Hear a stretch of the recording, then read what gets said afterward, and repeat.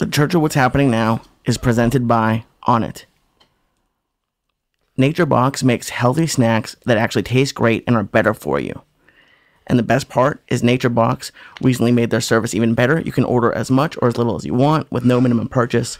NatureBox is offering our listeners 50% off of your first order when you go to naturebox.com slash joey. That's naturebox.com slash joey to get 50% off of your first order. The show is also brought to you by MeUndies. MeUndies is seriously soft, feel-good underwear delivered right to your door. And the best part is MeUndies dot is giving our listeners 20% off of your first pair. That's MeUndies.com slash Joey to get 20% off of your first pair of the most comfortable underwear you'll ever own.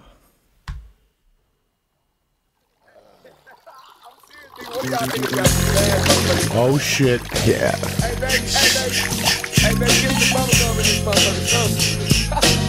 Oh shit. Wednesday, March 8th, bitches. The first quarter is always almost over. Uncle Joey, Lee Syatt, Chris Herren, and my main man, Jayson Thibault. Yeah. Keep coming up with funky ass shit like Remember when this album came out? Fucking tremendous. This jam kicked it up to di- Lights out. Like this Mule Lee.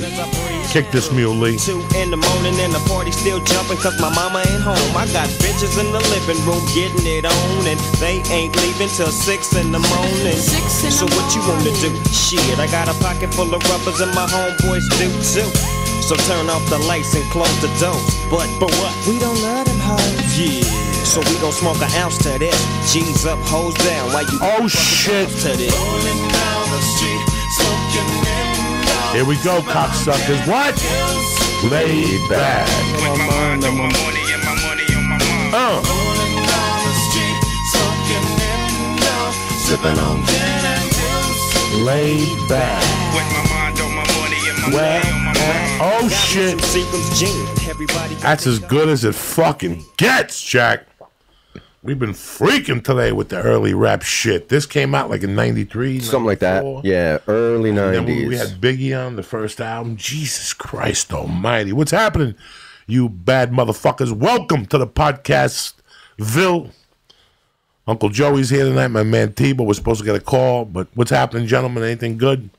I, I, I just wanted to wish you a happy International Women's Day, Joey. Oh, thank you. I, Yeah. I know you've been talking about it all oh, day. Oh, fuck. I couldn't wait. I couldn't fucking wait. I should have got you a card. I Oh, please. Did apologize. you guys march or anything? Not much of a march. You know, it's crazy because on these days, I usually go eat just to see if any waitresses show up. They're all there. Yeah. They're all Spanish, fucking Armenian. They're there. Everybody, that, that, that, that's, that's International Women's Day for people Right. got a husband and paying bills and shit. What does it even mean? What What is Who the International fuck Women's knows Day? anymore? Who the fuck knows anymore? I wish them their good day. They have this moment in the sun. They go out there and parade. They talk bad about whoever. And what are you gonna do? Everybody's happy at the end, but you gotta, When's- you gotta, you gotta cheer them on. I have a daughter. You gotta cheer them on. You know, they, if this is what makes them feel better, then fuck it, go out there. You know, we're assholes, right? We get all excited I about got- the Super Bowl. Two. I got lesbian moms, a sister. I didn't hear a shit Yeah. about this. They don't give a fuck. No, they don't give a fuck. They're like international what? Who gives a shit? Who gives a shit? Two lesbians playing maracas walking down the street. Who needs that shit? You know what I'm saying? Fuck that shit. Hit a tambourine. We're here, but everybody's got a cause. Everybody's got a purpose. So God bless them for even fucking being involved. We're supposed we watched. I, I saw 30-30 about a month ago. I was in my house, just sitting there. And what Uh, was it called? ESPN show. Yeah, Unguarded. Unguarded. I just saw Unguarded, and I figured it could be fighting or basketball. Mm-hmm. And I put the fucking thing on, and it's this fucking white kid from Boston just killing motherfuckers in basketball. My style of hoop, taking it to the hoop, challenging bitches, fucking uh, around the back moves, passes, just just nothing but heart. It's a different type of game. And he ends up going to Fresno State. And I guess while he's at Fresno State, there's a couple of fucking rumors about his drug use. I don't exactly know what the deal is. He doesn't go high. I think this guy's great. He goes somewhere and he rips it up for a while, but he's eating pills. He meets his dealer. Yeah, it was it was in, it was really interesting because uh, he had like he had these issues. He went to Boston College first. Like first he went to BC, had issues there, and then when he went to the NBA after after Fresno State, he had these two uh, veterans who wouldn't who like he said took him out every night of the year, and he was he was sober like his entire rookie year in the NBA. So it was his best year ever.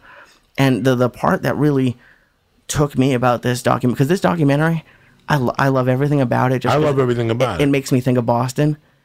And the one thing that his brother says in there is fuck the Celtics because it was 10 minutes from where he grew up. I, I don't know exactly how long, but it was right where he grew up. He knew everybody. He, and to hear them say that when they're so, it, everything about Boston and about these people is go team and, and, and hometown. And, and just to hear them say like, f- f- like that You ruined his know, life. playing at fucking home is tough. It's tough. Doing anything at home always sounds good on paper till a week before the fucking gig. Yeah, right. Then you have to disconnect your phone and you got to stop because, and it's distractions. They don't understand it. They don't know that that world. You know, when you call me and go, "Where do I go get tickets?" You're a fucking adult. Right. You know, you go down to the fucking box office and you go buy the fucking tickets. Right. It's that easy. You know, Right. where do I stay? Where do I park? Do I live in fucking Cleveland? Right. I don't fucking know. You, I don't know.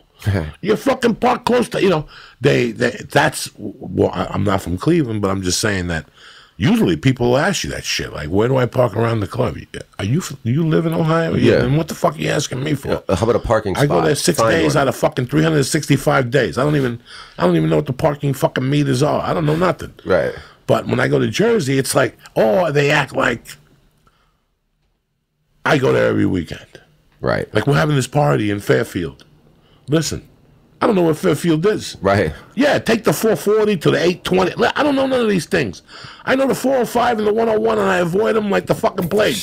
Okay, That was my so mistake today. yeah, oh no, it's a fucking. Now, where do you live? Like Hollywood, like Santa Monica Western neck of the woods. Yeah, that's deep in the fucking murky. So like water. East Hollywood, but to you when you factor that I to come do this podcast, it's about six miles away. Fifty minutes to go six miles. When I got in the Uber, I was like, "You got to be kidding me! It's so close, you know." And you're just sitting. I mean, when they built these freeways, they just thought there'll never be too many cars for these ten lanes. Well, this is not only here. This traffic exists all over the fucking country. Mm. I went to Texas recently. They had traffic, not just traffic, traffic. You know, New York City, I said it a thousand times. I could leave Secaucus, New Jersey at 10 to 8 in 1993 and be in the city by 5 after 8. In the fucking city on 20th uh, Street and fucking 8th Avenue. Fifteen minutes, 15 minutes. not anymore. Not anymore, bitch. Not any fucking more. You know, and it's uh it drives me crazy. Like it dri- like especially in Los Angeles when people go, Yeah, let's meet.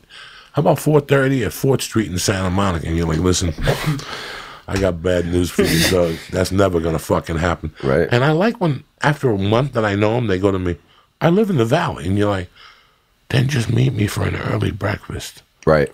in the valley. Why are we both staying here till four fucking thirty? You know, it's like people think that, uh, and this is no lie. These guys will sit here. A couple weeks ago, somebody called me. Hey, would you help me pitch? Yeah, I'll go down there and help you pitch the show. You know, again, I agree, and all of a sudden I get a call a week later. It's four thirty on Third and Santa Monica, like MTV Studios Yeah, or some yeah. shit. Uh-huh. Right away, you know you're dead. Well, you know that it's like okay, so it's at what three thirty? That's an hour in, hour out. So hour, no, no, it's an hour fifteen in at four thirty, and three hours out because if you're on fucking Wilshire, you still got to get to that four hundred five entrance, and that moves like the dog. I was at one light for an hour. Mm-hmm. I was at the same light for an hour. Yeah. I brought two joints. You know, I got Sirius radio. You return calls. Mm-hmm. You do all that shit, but it was an hour. Yep. And I could get mad, but there's no reason to get mad. There's nothing you could do. Then you get on that fucking 405, and I don't have to tell you.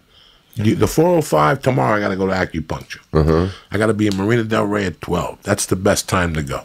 And even then, it's packed. Me, I get the crib and I put one of my daughter's teddy bears in that motherfucker and I wrap it up and I put a blanket on it like it's a baby.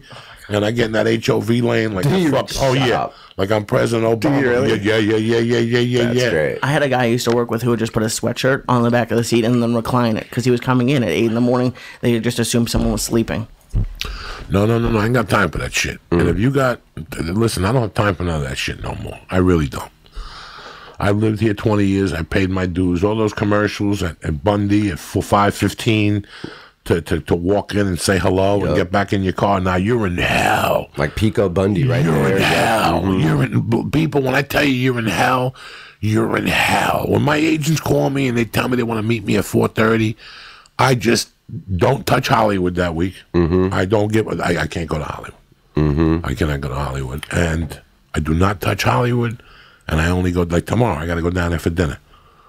I leave my house at a quarter to six. Hmm. I get down to where we have to meet at seven. I got a spot at nine anyway. Right, that's how you do it. You got to lump all Yeah, I lump together. it all together. If I'm going to be in this neighborhood, let me knock Let out me shoot all it. this shit I got to do. I called the doctor the other day. Eight thirty appointment. That mm-hmm. means I'm out of there by nine thirty. I run over get some breakfast because he checks my blood pressure. He takes some blood. I go over. I sit at that fucking place where Jax Teller used to go to breakfast ten years ago, and eat that place, Lulu's on on, uh, Yep. on whatever. And I fucking uh, from there I go meet this guy. I go meet that guy. But the boundary is one o'clock. You got till one o'clock because at one o'clock I'm shooting right over Laurel Canyon, and that's even bad already. Yep. From 4 to 9. You're dead. From 4 p.m. to 9 p.m. And people, I know what you, you you're listening to this going, Joey, D, uh, why you want? No, it's time. It's not about whining. It's about time. Yep. It really is about time. And, and let me tell you something. There's nights I get home and I'm watching the news, and all of a sudden they go, go to the 170. A tractor trailer pulled over. These people have been in traffic for a week, uh, hour and a half. You think of all these people who worked hard all day, and they got to get home to help their kid with homework. God knows you're starving. You got to pee. All of a sudden, some fucking tractor trailer pulled. You know, it just never ends here. And Mm-hmm. yeah, two weeks ago, my friend was stuck for two hours. Lives in, in Burbank, or off of fucking uh, Barham. Mm. Damon, the truck. Remember the day the guy, the tri- guy wanted to kill himself Oh right. on, on Hollywood Boulevard. Oh, yeah, yeah, yeah, yeah. They shut everything down. The guy was going to threaten to jump the bridge. Mm-hmm. Listen, at, at two o'clock, that shit works. I'll come over. I'll send the psych. At five o'clock, you got to shit. I'll get off the pot, guy. Either jump off the bridge or we're going to shoot you in the fucking head and end your fucking disease right now. Yo, you have a small window. Yeah, you got a small like, window. Kill yourself You're already. Fucking with people on Hollywood Boulevard the 101. That week was also the week there's a stupid premiere. Again, when there's a premiere in Hollywood, it's like on fucking uh, uh, Hol- Hollywood Brea, Highland. Highland, Highland. Yeah. So they close from Highland to fucking Fairfax and the other way, guys. So here you are, you have plans just to zip into something, and all of a sudden there's a fucking detour that sends you way back a mile and a half. It's No, but not only you, everybody. Oh. So now you're there for a fucking hour and a half. It is something that after a while you go, I'm not doing this no. Like I've cut meetings. I've cut no, no, no, no. I'm sorry. I, I go to jujitsu at that time. Mm. I heard a thing that the, the, the population of Santa Monica, the city of Santa Monica, doubles from 9 to 5 Monday to Friday. Easily. Easily. That that's where all the TV was. That's where all ninety percent of my TV jobs were. And the frustrating part about that is there's a lot of people who work at night. So you think, oh, it's gonna be great. I'll skip the traffic. No. No. They have they they close down the entire there's always construction on the four hundred five, but there's never any construction workers. I don't know who's there. They put cones out and they leave. Mm-hmm. And then the best part is like it's nice sometimes they only close down two lanes, three, three lanes. I've had it happen before where they close the entire freeway and then imagine it might not be a lot of people, but all those people just on Sepulveda trying to go over the hill. I've, I've had to take an hour at two in the morning before. It, it- like it's, mm. and then my favorite time of year with you, Joey, and you're not a mean person, but you get so much joy calling me around Christmas when there's delays at airports, just because you won't go there anymore. I will not go there. I got it down to a science. After November 10th, there's no flying to the east. To win. Till November 10th, you go no flying. no flying And to then- the east coast. Tempe After New Year's, then you're back. After New Year's, two weeks. Okay. After these assholes all get home and the jingle jangle stops and the drama stops, then I start flying again. Let the let the fucking airport people take a breather. Let them. It's a beating. They get a beating over the fucking holidays. Horrible. I sit there every Christmas. night calling Lee at five thirty. Go look at those fucking maggots at the airport. Look at those maggots. Look at them. How stupid can you fucking be? Every year, Right. They show people are stranded now at the airport. I don't know what's gonna happen. The computer went down. Go fuck yourself. That's what's gonna happen. You're on a military cot tonight. Right. Next to some fat fuck like me, snoring with sleep apnea, scratching his nuts, farting all night. Flying That's what you get for so fucking bad. flying over the holidays. After November 10th, There is not one plane going fucking eastbound for me. Hmm. I don't give a fuck what story you got. Now, will you fly West Coast? Like, would you fly to Oh no, no, no. Yeah, Sacramento. Okay. I do all that. Yeah, that's when I do that. You Like just you okay. Look at my schedule. you ain't crossing the Mississippi. New York the la- first week of November, and it's over. Irvine, uh, Sacramento the first week of December. Portland, the last week of December. When fucking uh, when the, right the two days before New Year's, some let somebody else work New Year's. I don't want to work New Year's. New Year's, I work close to the house. Eight o'clock show. I'm home by ten, eating grapes with my wife at midnight. Right. I don't want to bother nobody. That was the last fucking New Year's I worked. You're petting a cat. You're petting a cat Yeah, stroke ten o'clock. 12. No mas. It's Right. over. Yeah, yeah, yeah. It's a seven thirty show with Uncle Joey. You could let loose at ten, go home and give your wife a stabbing, and be in bed by midnight. Nobody gets their feelings hurt. Right. I'm too old to be out there fucking eleven thirty cutting down beef. Fuck you. Exactly. Two weeks in January, then I start flying. The plane tickets go down drastically. Oh, of course. So that's when I Yeah. go to Buffalo. I go everywhere cold. That they got no, they got nothing else to do but come see Uncle Joe. Mm-hmm. You follow me? So yeah. Mm-hmm. Imagine if it was sunny, I'd still love to see you. No, Just fuck not even no. the cold. It's fucking. That's why you don't go out in the summer that much. Not in the summer, but in the spring. That's The when it's spring is bad good. because The spring people is like good. can finally get outdoors. But They're like, still- fucking, The spring is good, but the summer people go on vacations. Yeah. Mm-hmm. And they go camping and they want to scratch their pussies. So I don't blame them. I don't get and do outdoor shit. They want to do outdoor shit. They've been tr- stuck inside for seven months. How's the sobriety doing? Good man, good. Straight and narrow. Yep, straight Feeling now. good. What's that? Feeling good. Feeling good. It's you know, it's always a struggle for anybody. And you know, we were watching a little bit of this documentary before, where you're like, you know, it doesn't discriminate. You know, you know, we're looking at this guy in the NBA, and he had everything going for him, but it's like, dude, it doesn't matter. You know, you could be rich, poor, black, white, Puerto Rican, Mexican, man, woman, straight, gay. Like, you know, doesn't discriminate. You know, it doesn't discriminate. You know, it's like you. I just got to be about today, and when I can do that, I'm good when I start, you know, I said this before that I remember when I first, the first, my first run at getting sober, I was sober for like three years. I remember day one or day two, I'm sitting there thinking like this How am I not going to drink at my daughter's wedding? I ain't got a daughter, I ain't got a wife. If I knock some bitch up at the end of that AA meeting, I'm freaking out about 22 years in the future. You know what I mean? It's like ridiculous. It's a ridiculous concept, but that's you know. But if I can just be like, dog, I'm just not drinking on Wednesday. It's Wednesday. I'm cool today, and then I'm good. Then I'm good, man. It's crazy how you. We were reading a book called War of Art, or War Art of War by Steven Pressfield. and he talks about a thing called resistance. Yep, I've read the book several times. Joe And- Rogan gave me the book. And the funny, funny thing about the book is that there's resistance, then there's drug resistance. Hmm. And Lee Syatt, you've never had a conversation with Mr. Drug Resistance. Mr. Drug Resistance is the guy who talks you out of paying the rent. He's the guy who Talks you out of eating. He's the guy that talks you out of stealing your girlfriend's engagement ring and pawning it. That's that guy. That's a that's a different fucking animal. That's the guy that says, you know what? Get that ounce of coke, front it, go sell a quarter, get five hundred dollars, and snort it with that girl and eat her ass and Right. get crazy. That that's oh, that's a complete different resistance. Mm-hmm. That's the one. You know, I was talking to Timmy Holloway last night. We were talking about the, the mind of an addict. You know, people go, "Oh, you improved since you stopped doing coke." Sure, because you cut out forty percent of your mind and put on how you're going to get high. Mm-hmm. Oh, here we go, Mr. Chris Herren, Yo, Joe Diaz. You're a savage. what's up, brother? How are you, sir? I'm good. I'm good. Thank you very much for taking the time. I will not take a lot of your time. I was telling these guys I'm sitting at home one night and there's a thing called Unguarded. I'm sitting there with my wife. She's from Tennessee, basketball. You know, I went to five star basketball camp back in the 80s. You know, I love basketball. And, uh, you know, I'm from Jersey and I'm from the white part of Jersey, but to really get down, you got to go to Camden and fucking Jersey City and all that.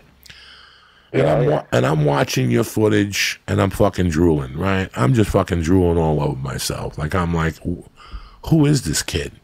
I mean, you were taking it to the hoop like you didn't give a fuck. And I'm looking at your fight. Yeah, I'm looking at Fresno straight career and the whole thing. But you said something that I'm a comedian of 26 years, and you had me dying for 10 minutes about that you stole the car and you did the meth and you were driving around seeing people, and finally the cops pulled you over and you said, "Thank God you guys are here." There's been Yeah. guys chasing me.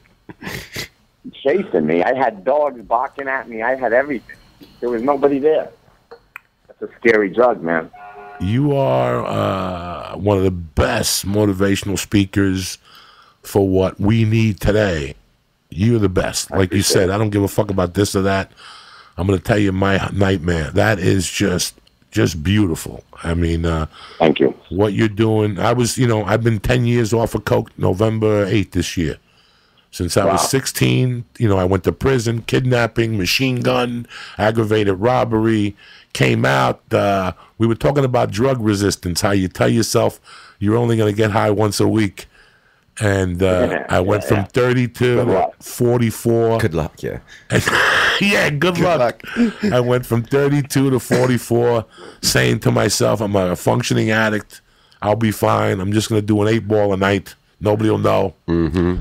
And uh, here we are, and I watch your thing, and I'm just blown away, brother. Well, I appreciate it, brother. You are an inspiration and a half. These motherfuckers don't know. You know, I'm sitting here going, how is a Boston Celtic on a corner in Sacramento? Sacramento, I was in Modesto, running down the highway in Modesto. Never mind Sacramento. What about Modesto?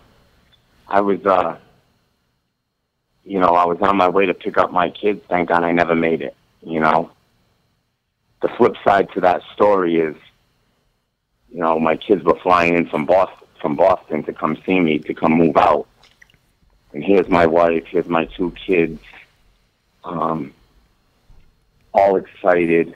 Uh, you know, and to see their dad for the first time in a while.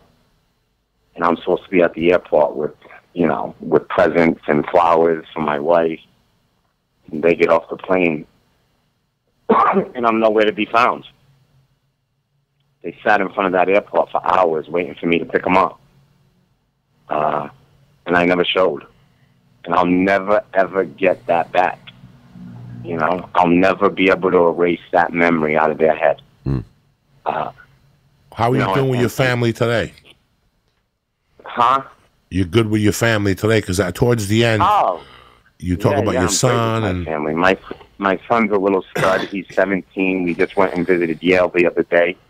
Um, you know, my daughter, she's 15. She's she's the best. She's my ace in the deck. Um, you know, and my youngest, who's been so who who's grown up in a sober house, is a complete savage. So, um, you know, we're good. We're really good. But and how great is your fucking wife, dog? You could shoot her in the head and the bullet would go around her. I mean, she is a saint. Yes, she is. She is a saint. She hung on for dear life, and and you know. But the thing is, is my wife knew me before drugs took me, and uh, you know, she knew who I was deep down inside. You know, a lot of us, you know, we go on that road, and and it changes us, and and there's people who knew us before we were on that side of the street, and uh, you know, they want us back on the other side, and she waited till I found my way back, and. uh you know, I, I'm lucky for that. But but I tell that I tell that Modesto story. I tell that story about being on meth for five days and seeing people and hearing dogs barking at me. Um, because you know, you get sober and eight and a half years sober. I look back on that and I see my kids on that sidewalk at the airport. You know, I see them waiting there for me. But uh, I, you know, at eight and a half years sober, you thank God you never made it. You know, I would have horrified those kids if they got in the car with me. You know, I, I, it would have been ten times worse if I was there to pick them up. Now you're you're from Boston. Are you Irish, brother? Oh yeah, Irish yeah. Catholic to I'm the from end. Fall River. I, I'm Okay. from Fall River. I'm Fall from River. Fall River. Yeah. Yeah, you can't say Boston. I'm from Fall River. I, people, people will be all over me right now. No worries. Yeah. Now your family's. I, I mean, four overdoses, Chris. You wake up in the morning just like me, and you look up and you go, "God, thank you for another fucking day," and we really mean it from our hearts. Mm-hmm. Yeah. Yeah. I mean, you think about it, right? I mean, listen, for eight and a, for eight years I shot heroin. Right, I spent twenty five thousand a month on OxyContin when I was playing professional basketball. I was taking sixteen hundred milligrams a day of 80, 80 OCs. I chased death and paid for it every single morning for ten years straight. Chase death for a feeling, man. That's what we do. That's how sad we are. That's how sick we get. That story about you and the dealer coming to the fucking Boston Garden, my jaw dropped, and I've done everything. I don't give a fuck, and my jaw dropped. Yeah. Yeah, you can't. I mean, what am I going to do? I can't play in the game. If he doesn't come, I can't play. There's no doubt about it. My body's not going to respond. You know, listen, I've walked into arenas in college, you know, after being up for 18 hours doing coke all night. You know, um, but there's no feeling, you know, like coming off opiates. There's no feeling when your body starts closing down and shutting down because and breaking down because you know you don't have 1600 milligrams of oxys in your system. I've never woken up in an ambulance. I mean, Chris, I admire you from all angles because uh, so much has happened. I mean, it was. I mean, waking up in an ambulance. Are you fucking kidding me? I would. I can't see needles, so I would automatic. That's the only reason I never shot dope, Chris. I snorted it. I never shot it Yeah. because I couldn't. I couldn't. I can't see needles.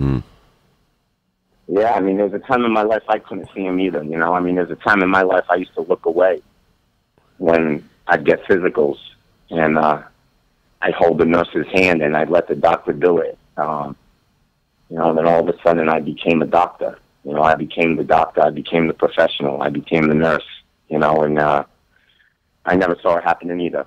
Um, it came from out of nowhere, but once it happened, there was no there was no going back. Chris, can you talk about the story about uh, falling asleep behind a 7-Eleven? Because that just to to walk out of the hospital, if I'm remembering the story correctly, get a soda, and then just to to to, to fall asleep. Like I would never think to just sit down and fall asleep. Like that's what were you going through at that time? So I had been up for four or five days, and um, and when the Modesto police found me on the highway, uh, you know, obviously I was hallucinating. Um, I was in sleep deprivation. Uh, my heart was pounding through my chest. So before they took me to the Modesto County Jail, uh, they brought me to the hospital to take blood, um, as well as uh, shoot me up with a bunch of Benadryl and and and drugs to to uh, control my heart rate and and calm me down. Um, so I spent the night in jail in Modesto, and I walked out the next morning, and you know, I'm walking down the street, and I got nothing, you know, and I- I got like ten bucks in my pocket. You know, I, I, know I'm sober enough to know right now what I did to my family. Uh, and I'm just wandering the streets of Modesto, and I uh, I walked into a 7-Eleven. I bought a soda, and I walked behind it, and uh, I was still drowsy from the medication, but I said, "Fuck it, I'll sleep here." You know, I mean, I can't go home. I can't look in my kids' eyes.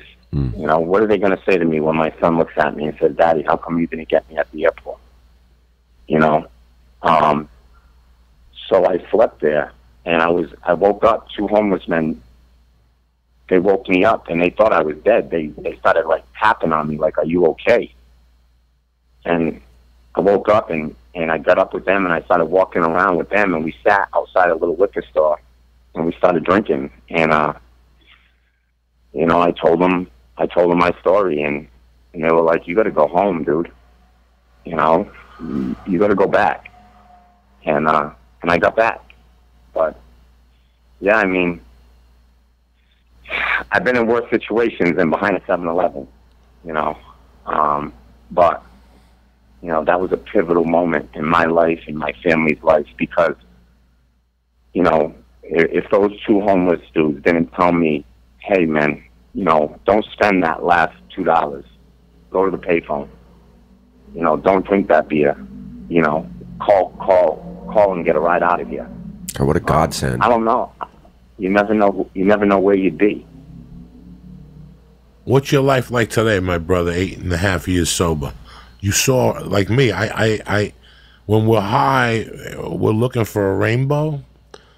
But once we get sober, we see the fucking rainbow finally. Like, mm-hmm. Yeah. how's your life today, Nice. my brother? It's good, man. It's good. It's the greatest gift I've ever been given. You know, my recovery is the greatest gift I've been able to give, you know. For the last eight and a half years, I've been the same father. And there's no better feeling in the world than being the same dad 24 7. Knowing where I came from and knowing the person that I was eight and a half years ago. To be the same father, to walk in the house for eight and a half years straight. That's all the kids want, man. You know, it, it, I grew up in a house. My dad was an alcoholic. You know, um, you, you know, when you grow up in a house like that, you never know who's coming home. You never know what mom and dad are gonna be like. You never know what's gonna happen, what's gonna jump off at dinner, how things are gonna, how how things can take a terrible turn in a matter of seconds. Um, my kids don't have that in their life anymore. You know, I'm not I'm not stealing their Xbox. I'm not taking hmm. their Christmas gifts. I'm not returning birthday presents. You know, I mean, I did all the dirt. You know, all the dirt you can think of, I did it. I'm not proud of it, but I wake up every single day, and every single day I commit to staying sober. And I know when I go to bed at night, that's one day further away from the worst day that my kids remember. And that's what it's about. Chris Herren, they don't even make them like you anymore, dog. We live in the land of you faced it, took it by the balls, and here we are, man. Like I said, I watch a lot of, you know, I do com- comedy at night. I get home, I unwind with those 30 for 30s. Billy Corben has been on this show a few times. That was one of the best for 30 for 30s, if not the best one I've seen. Not as much as uh, just what looking at your eyes, brother. Looking, I could see Yeah. your fucking soul when you were talking, and I'm a street guy like you. You know, like I told you, I used to live in a rocket ship in North Bergen, New Jersey, at the park. I'd wake up the kids yelling at me, "Get up, you fat fuck!" So uh, I've been there, man, and what you did is tremendous. I loved the family support you had. Your wife, like I said, I'm thinking of sending her two dozen roses out of respect because they don't even make them like that no more either. These broads today, No. you give them chlamydia and they split. You know what I'm saying? Yeah. This wife of yours is a doubt. tank. Send them my love. and if you ever come to California, please look us up. I'd love to buy you dinner, we're bring you on the man. show, brothers. man. And uh, you know, Jayson Thibault's here. He hosts a sports uh, podcast on Tuesdays. He's in the program. That's why I had him here. And ten minutes before you called, he said the same thing about committing to the day today. Who gives a fuck about Tuesday next week? Yeah. I can't. e, I, I can't even think about tomorrow. I was saying today, uh, yesterday. I was saying that at a, I was at a, uh, speaking at a meeting, and I was saying that here's here's what addiction and alcoholism looks like in my head. I will spin out mentally about not having something to spin out about. You know what I'm saying? Yeah. Like everything's fine, and that causes me to spin out because the, everything can't be fine. You know? How many meetings do you go to a day now, Chris? Huh? How many do you go to meetings every day? Are you avid? Yeah, I mean, yeah, I, I can't say, you know, I'd be lying if I did, if I told you I did, because I travel so much. I do about 250 events a year. Wow. Um, so I'm on the road a lot. You know, like right now I'm in a hotel in uh, West Virginia. Um, you know where, you know, I'm I'm meeting kids who come up to me and they're crying and, you know, they they've been molested by their dad. You know, uh, they're being raised by their grandparents. Uh, brothers in jail because they raped the sister. Um, you know, like a, lot of pain, man, a lot of pain doing this and talking about this. Um, you know, a lot of people open up to you when you when you're willing to share it. Uh, you know, it's it's it's not an easy thing talking about it, but it's a necessary thing because it, it, it inspires people to tell their story. And I think we all have a story, and there's nothing wrong with it. You know, it's, there's nothing wrong with it, it with it if you embrace it and uh, and fight it. Um, you know, people often ask me like, "Do I miss basketball? Uh, you know, do I miss playing the game?" And and I wake up every fucking day playing the biggest game of my life, man. every day I wake up and I got the biggest game of my life I got to perform in. And that's staying sober, man. So I work my ass off to keep it. I travel with sober people. I surround myself with sober people. I hang out with sober people. That's who my network of people are. You know, so um, I go to meetings. Uh, you know, I have a sponsor. I do my service work. You know, I collect my chips. I give out chips. I'll make coffee. I'll set up the chairs. I'll do whatever it is to keep what I have, man. It's a, it's a blessing, and it's because of people who did it before me. You know, I mean, if it wasn't for them, there'd be no program. So I remember. uh, I remember. I am I am I embrace it. I remember going off the deep end in '85, fucking just living in a park, the whole thing, and a school teacher took me to a meeting, and I sat there just like you, at 21, thinking I had the world by the balls in like Newark, New Jersey, at a real fucking AA meeting, and uh, sitting there going, "Listen to this 35 year old fucking loser," you know, Right. and and not paying attention, thinking I knew all the rules. And the reason why I fell in love with you is because there's a lot of people on, you know, we cover addiction on here of pills and stuff, and uh, I never heard it put the way you put it, and I wish that they get something out of you. Just in case they didn't see your documentary or don't know anything about you, because you blew my mind, brother. Yeah, no, it's uh, you know, it's something. That, listen, I'm, I'm proud of my recovery. I really am. Like, I embrace the shit out of it. Like, you know, I can look back on all the things I accomplished in my life, and there is no greater accomplishment than what I have today. You know, and uh, and I love it, and and and it's and it's something that I've I'm I'm all in on, man. Like, you know, I'm on, you know, I'm on the front lines of this with kids, and uh, you know, this little girl stood up in my assembly the other day and she said, You know, Mr. Herren, I want to thank you for coming to my school. I wish my mom got what you have. Um, you know, my mom just went to prison for 14 years because she was selling me on the internet from the age of 8 to 13. You know, when you meet a little girl whose mom was dropping her off at motel rooms for five years to support her addiction, you know, like, you know, you're in the you're in the thick of it. Um, but for that little girl to say that out loud in front of a whole high school, um, you know, that's a moment. That's a moment where, you know, it's her first step, you know, towards talking about it and and and owning it. Um, so, you know, when I when I did this documentary, what's what's really crazy about it is is, um, you know, my we we were on food stamps. You know, we were we you know we had the EBT card. My family, my kids, my wife. You know, we went from the Celtics to food stamps. And when I started that documentary, I didn't even know there was such thing as Netflix. I didn't even have an idea. Like I didn't even know what iTunes was. I had a flip phone. Um, I thought the documentary would play one night and it'd be over. You know, I had no idea how long it would last and how many times it would be played and how many people would download it and how many treatment centers and prisons it would play in. Um, but it's the best thing that ever happened, man. You know, because if, if someone can watch that and, and, and really connect with it, that's what it's all about. Is there a web page where people could contact you or anything, Chris? I mean, Yeah. So I started a foundation, right? Um, if it wasn't for Chris Mullin, I wouldn't be here. Chris Mullin Oh, and his shit. wife Liz. oh shit. Yeah, Oh. they put me in treatment. Um, if it wasn't for them, I wouldn't be here.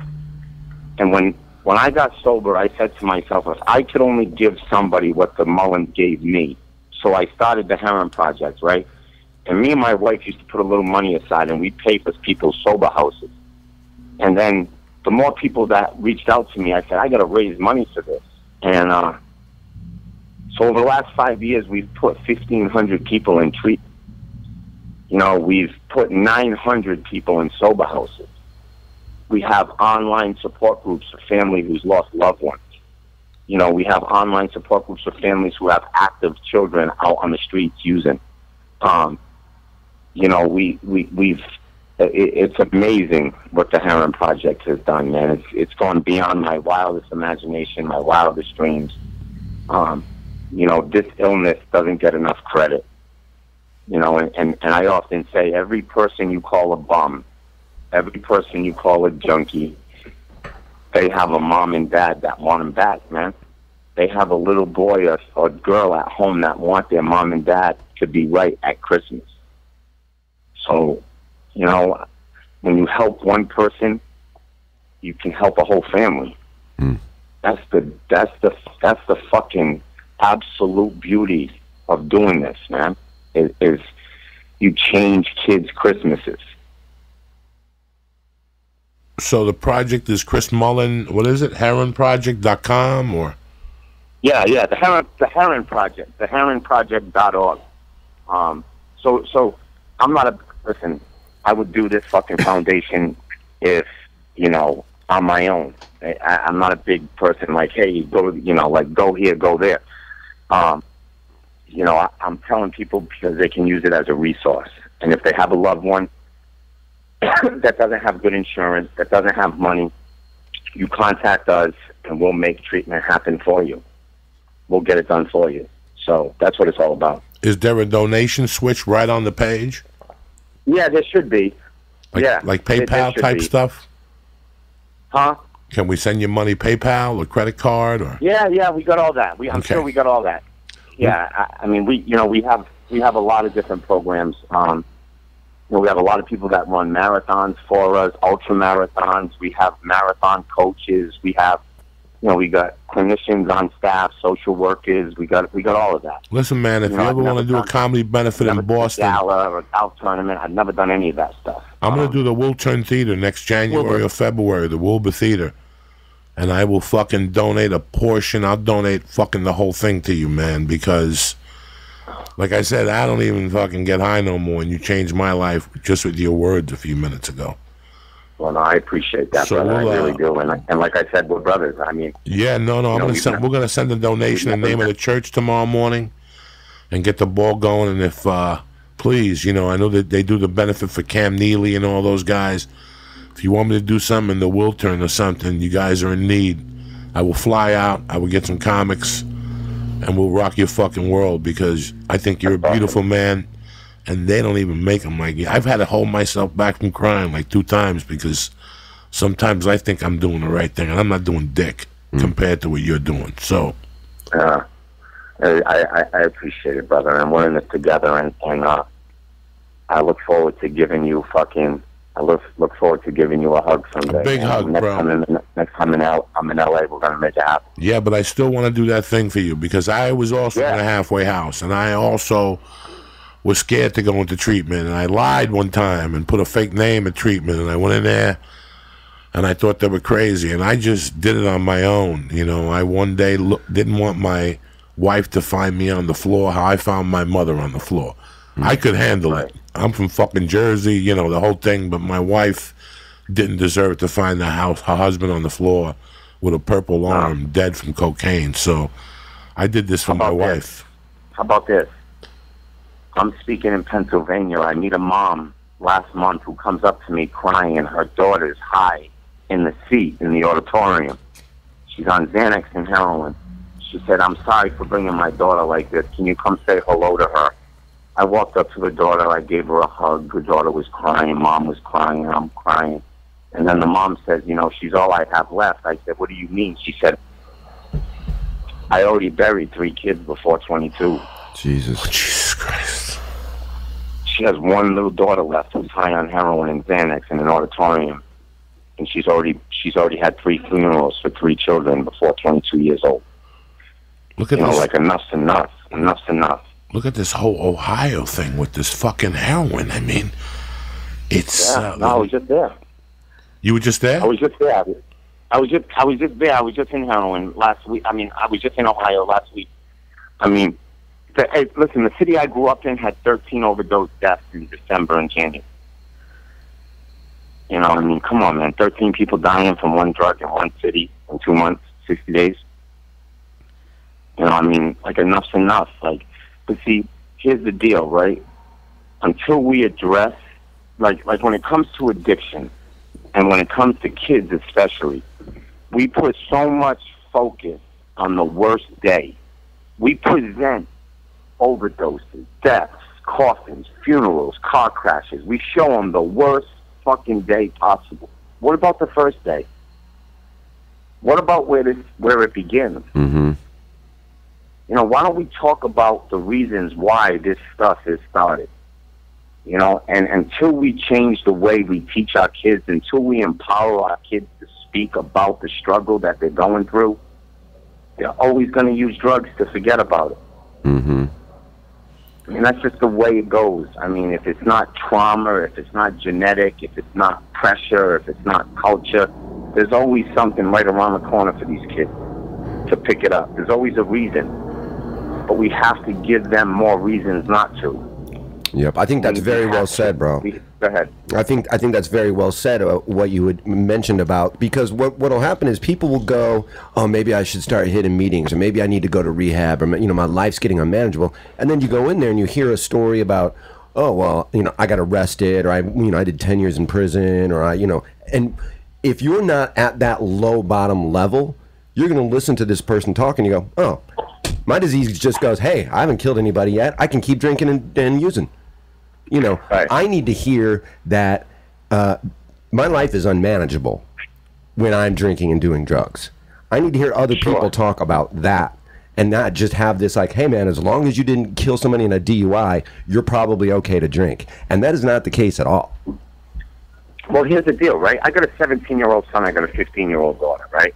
And I tell kids all the time when I speak, they say, How do you handle your kids getting drunk on weekends now your son is in high school and so is your daughter? And I say, Listen, I'm a father in recovery and I'm still blessed to be at if. They haven't yet. But if they do, I'm not punishing, yelling, taking away from them. I'm not interrogating them. I'm not blaming some kid's basement that they're partying. I'm not focusing on their friends. I'm going to look them dead in the eye. I'm going to tell them how much I love them, what they mean to me. I'm going to ask them one question, the question most parents won't. I will not leave this bedroom until you tell me why. Tell me why my son at 17 years old needed drugs to hang out with kids he's known since he was five years old. Hmm. You tell me why, man. That's what I want to know. I don't care where. I don't care when. I don't care how. I don't care what. I don't care about any of it. I just want to know why. Once we understand why, we can start working through it. See, when I was 13 years old, I figured out, you know, my why. Because drugs and alcohol helped me forget, man. same That's what it did. me too It allowed me to forget. And once I figured out I could drink enough, smoke enough, pop enough pills, snort enough coke, you know, once I realized I can get it to, to a point where I can forget about it, that was it was over. But but like we have to address why, man. We have to go at the root of this. And when it comes to kids, when you ask a kid, there was I'm gonna tell you something right now, man. I was a McDonald's All American. I was ranked in the top twenty basketball players in the country when I was in high school. And there was never one night I walked into my house drunk or high that I looked in the mirror and said, I'm proud of you, man. I was never proud of this shit. It never felt right to me. Like I never went to bed with a with a with peace of mind when I did this stuff. Now I'm drinking my father's beer. My father my father's Miller Lite disrupted my whole fucking childhood. It tore my mother apart. It caused them to divorce. Miller Lite was the elephant in the room in my house. And I remember being a little boy listening to my parents fight, and I knew exactly why they were fighting. I made a promise to my mom when I was like five years old, six years old, after they fought one night. I broke that promise when I was 13, man. I started drinking my dad's Miller Lite. That's fucked up. Like, that's not normal to be a kid drinking your father's beer that just broke your whole family to pieces. You know, I mean, that's the stuff that, that we forget about. That's the stuff what, that we're not recognizing and not addressing to kids. You know, and, and, you know, when it comes to kids, they don't want to hear about the worst day. They know it. They don't mm-hmm. want to hear about shooting heroin and overdoses and death. Just challenge them to be better, man. Challenge them on a Friday night to be able to talk to a girl without it. Dance with a girl without it. You know, don't be scared to walk into that house party unless you've got a buzz on. You know, all these insecurities and self-esteem issues that kids face at a very young age. You know, stop running away from them with drugs and alcohol. So I think, I think if we can get down to that, we can make progress.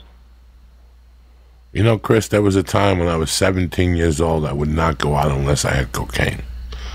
Right. If I didn't have cocaine when I was in high school, I thought it would have wasted. How what a what a sad fucking state of mind that I missed parties. I missed things that normal kids did because you know I'm 54. When I was 17, they didn't proof you. You could walk in. Who the fuck proofed you in 81 and 82? Nobody.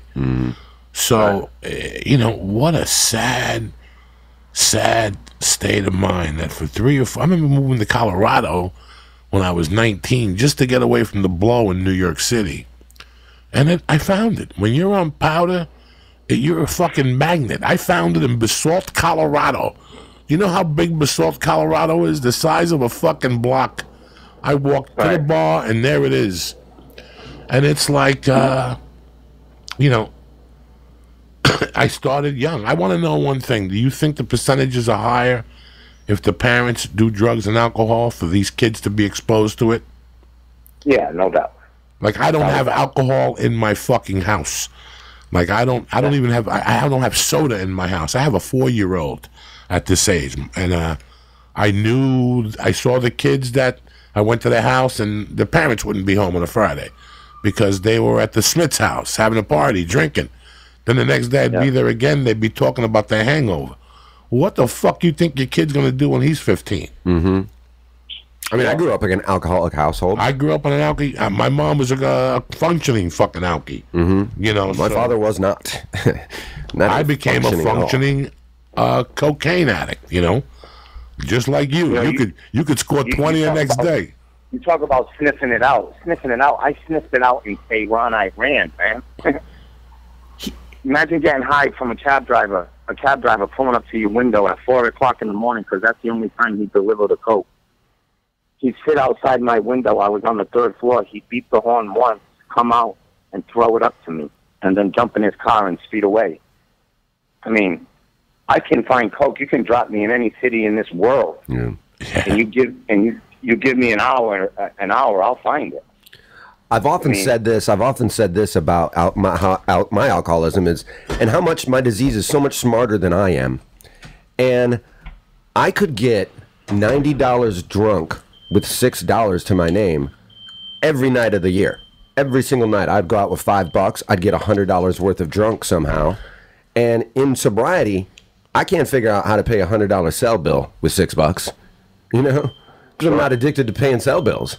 But I tell you what, you you give me what I need when I'm drinking, when I'm out. Uh, it doesn't matter if I, I got four dollars. That don't matter. It doesn't matter. I'm my disease Yeah. will find a way to get me what I need, and it's on somebody else's dime, or I'm stealing it, or I'm fucking hanging out with my buddies bartending and milking up a fucking super tab. Uh, but yeah, man, I'll find it. I can find it no problem. You know, desperate. You when when you're desperate, you don't care. I mean, listen, they kill people in Iran for doing drugs.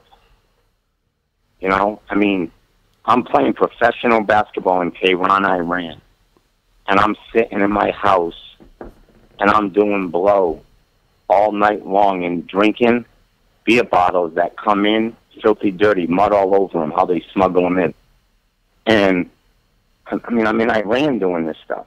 I was in Istanbul, Turkey, right? Midnight Express.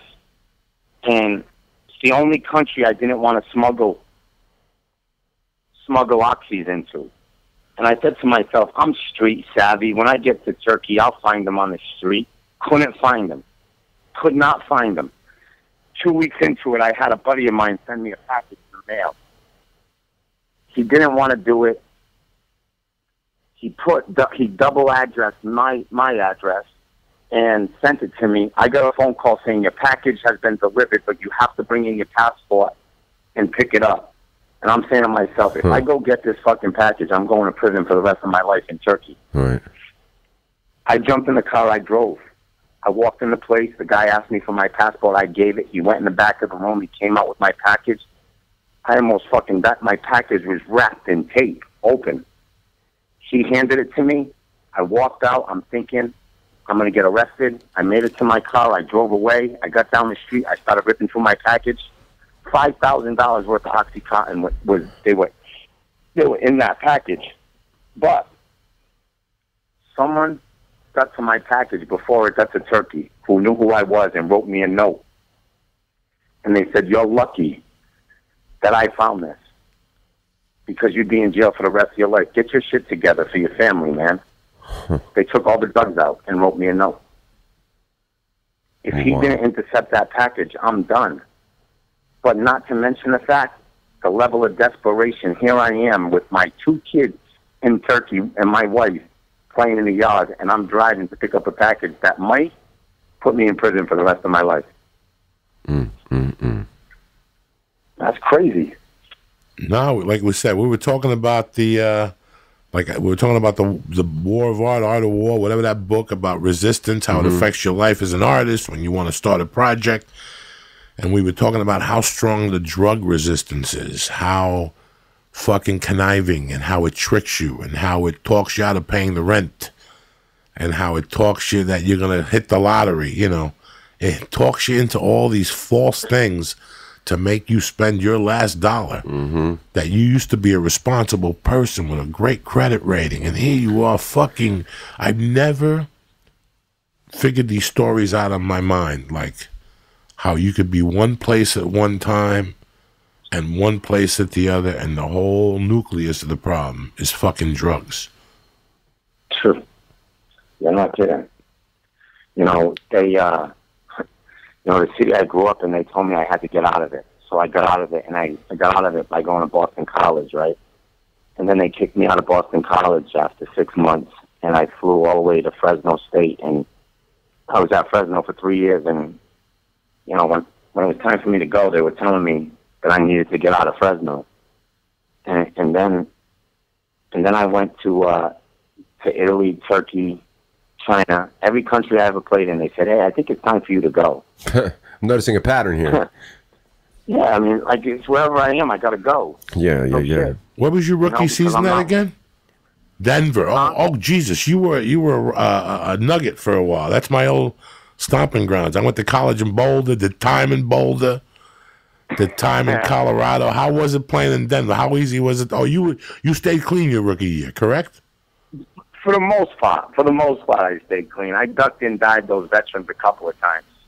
I uh, it was a funny story. I was playing in Denver, and George McCloud, who played for the Nuggets, who's an absolute fucking monster. Uh, he grew up in Florida, and uh, we went down to Miami to play. And you know, I guess now the Rolex in Miami, the strip club in Miami, is is like this big glorified strip club, and back then it wasn't. And I'm in the hood in Miami, and these guys they're, they're, they're watching me, making sure I'm doing the right thing, and all of a sudden, you know, I throw a smoke screen one way and I get out, and uh, I walk into the hotel at like four o'clock in the morning, and uh, and George McCloud's sitting in the lobby waiting for me, you know, and he's like, "What what what are you doing?" You know, like we're trying to help you, man, and and this is how you treat us. Um, I had great, great people around me in Denver. Uh, Denver, uh, I cried when I got traded. And now here I am going home to the Boston Celtics, and I'm crying because I'm getting traded. That's how much I love the people I was with in Denver. and what year were you at denver I was in Denver. I got drafted in Denver in '99. wow hmm How different would your life have been had you not been traded uh, to Boston? I was. I had unaddressed illness, man. It would have came out somewhere. Sure. really Sure. I thought You when know? you went back to Boston, it's like me going back to Jersey in '94. I just went right back to where I was, and I knew it. I knew it before I got on the fucking plane. But again, Yeah. that drug resistance is like I'll handle it. I knew it. I was bound for fucking failure, and uh, it's tough to do shit at the house. Everything. That's why I always got out of New York, Chris, because I could wake up at five, go into New York, buy a gun and an eight ball like nothing. That's a scary fucking proposition, man.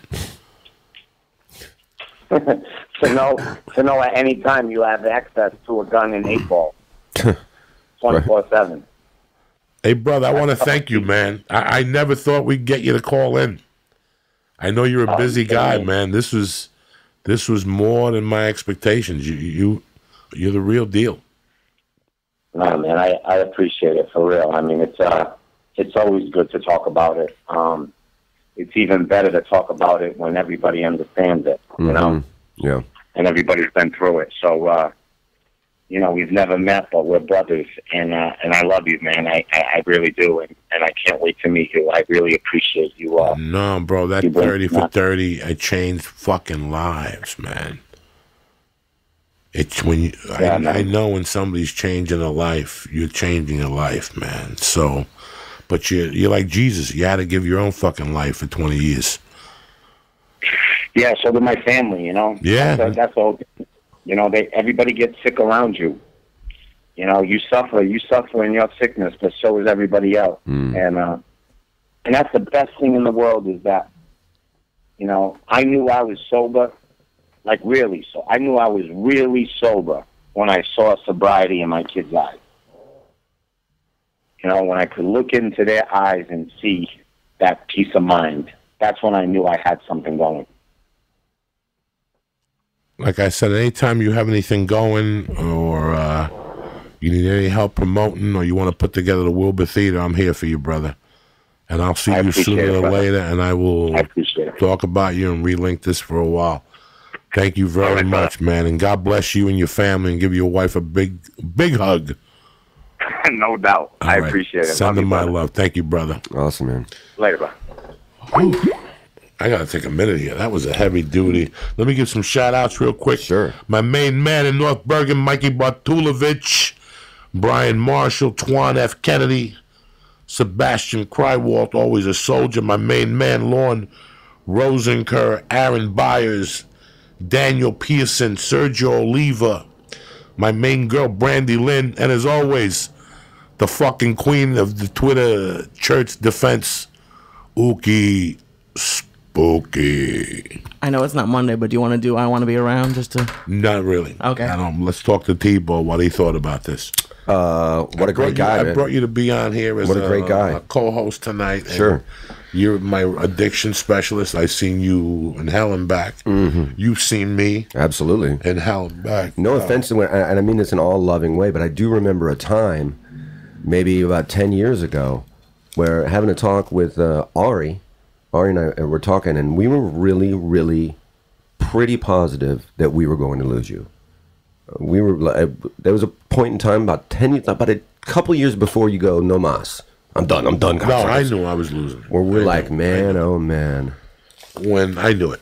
I the, the, the, the again worst thing that happened. It's not the worst thing that happened. Yeah. It's what my mind did with it was the longest yard in the results. Yeah. The results were not what I wanted them to be, so uh, it uh, drove me. It made me angry. It made me a lot of things, and there was money, so I could snort at disposal. Mm-hmm. And there was one time I didn't think I was going to make it. Let's let's be honest with each Mm. Yeah, other. here. sure. I mean- I was, you know, when you're 400 pounds, you can't breathe up the stairs, and you're doing blow and smoking three, four packs of cigarette. Your skin color is non-existent. There's not Mm-hmm. even blood going through your veins. There's no circulation. It was just a matter of time. So I'm very fortunate, man. So like when you're having that feeling, and you're you're thinking you're not going to make it, and you're you're still doing coke, like you're still at the, like later that night just doing coke. Do you just not care if you live or die? Like what is that like? It's a very surreal feeling when, listen, man, in a micro sense, it's like you know McDonald's is feeding you somebody's fucking cat, but we still go in there. You and I both know that Right. if you smoke enough cigarettes, you will get cancer, but we still do that. There are so many things that we know as human beings that are bad for us, but we shrug them off. Mm. Like it's not gonna be me. I'm never gonna be that guy with the fucking organ in my throat because I smoked 80 fucking cigarettes, you know? Mm-hmm. it's weird. It was a weird situation knowing that I had nothing left. Like I was just fading away to this drug because I was losing to it. Hmm. And then I watched the movie Ray. Mm-hmm. And I saw that he quit drugs at 64. And I said, there is no fucking way I'm going to do this till the end. Mm. There is no fucking way. That, that, that this has to stop. And then I read that John Gotti had taken over the Gambinos at the age of 45. Hmm. And I was 44. Wow. It was 2007. So I was about to be 45. And I figured for me to take over my world, I'm going to have to do this sober. Hmm. If I want to be not a gangster, I don't want, if I want to have that much control of my life, I have to stop doing drugs. You mm-hmm. know, when you would call me and go, Joey, what are we doing tomorrow at 12? Yeah, we're going to write the script. As I was talking to you, I knew that you might get a call at 10 saying I had the flu Yeah. four weeks in a row. Right, right, right. I didn't, you know, Lee and I always talk about how lucky we are. We started this podcast at six in the morning the first two years. Mm. If I was doing blow, this podcast would have lasted three weeks. Oh, sure. Any project. Three weeks. I remember uh, uh, my father died twice. I had a job where my in a three year window, my father died twice. Where they're like, "Didn't your dad already die?" You know, just one of my excuses. They're like, I thought your dad died like two and a half years ago. I'm talking to my dad in fucking thirty five years, but hungover, just don't want to go into work. I'm like, yeah, I can't be there for a couple days. My dad died. I got to go back to the funeral. Blah blah. Oh yeah, of course. Whatever you need, take your time. Blah blah blah. Don't worry. C- Cut to three years later, I'm hungover, coked out, fucking fucked up again. Call the same job. I'm like, yeah, I can't come in. My just found out my father died. They're like, I thought your father died three years ago. That's how much you don't give a fuck. I had a friend, Glenn Conti, that worked for UPS when we were growing up.